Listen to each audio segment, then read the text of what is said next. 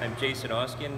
I'm a visiting scholar from Oberg Industries. I'm here at Pitt to operate and maintain the EOS M290 machine.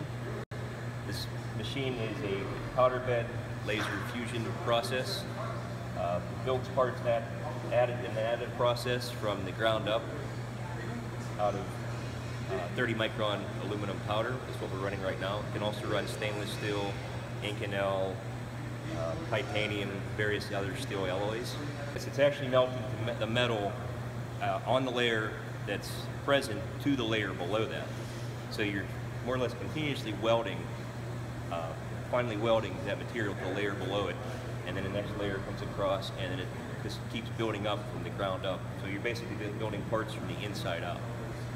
So my name is Albert Alberto. I'm a uh, associate professor in mechanical engineering and material science. Right.